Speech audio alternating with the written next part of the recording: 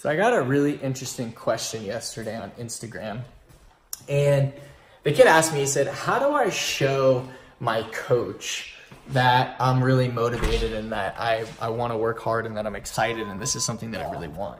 And this really hit home with me because I think this isn't just for showing your coaches, this could be for showing your boss, this could be for um, your employees, your team. How do you show somebody that you actually care? How do you show somebody that you really, really want it and you really, really want to do well? And I think there's two things, two really simple things that you can do. Number one, show up early and leave late.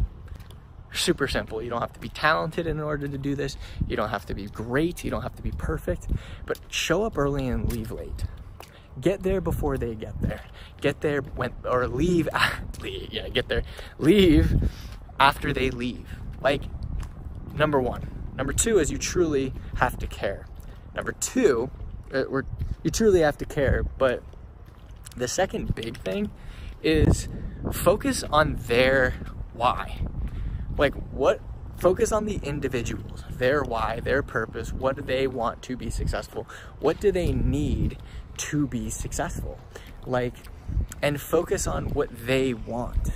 Like if you can focus on what they want, like they're going to notice you. They're going to be like, wow, this person really is interested in what I want. They, like if your coaches, if their goal is to win, if their goal, find out what it is that they want and help them get there.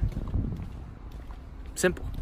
Whether it's your boss, what is your boss's goals? Like, is it is it does he need to hit a certain number in order to be successful? Help him hit that number. Like find a way to help them. And if you can do those two things, then you're going to show them that you care, number one, and it's gonna build a lot of power for you. And you're gonna be able to do a lot of cool things. When I say power, it's gonna, it's gonna give you a lot of, um, uh, it's gonna give you a lot of respect, but it's also just gonna give you like, I'm not sure of the word right now, but it's gonna help you a lot. so it's important that you do it. So if you do those two things, you'll be just fine.